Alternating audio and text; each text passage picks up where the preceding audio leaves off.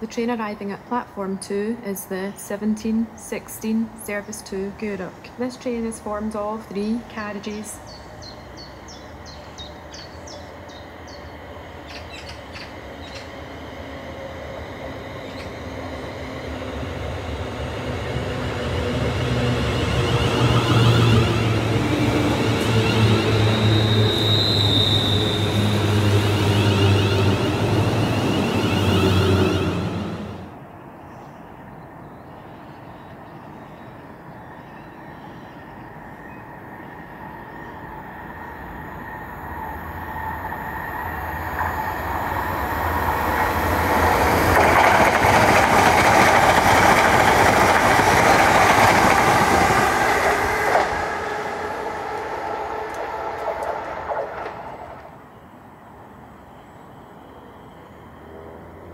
The train arriving at platform 2 is the 1816 service to Gourock. This train is formed of four carriages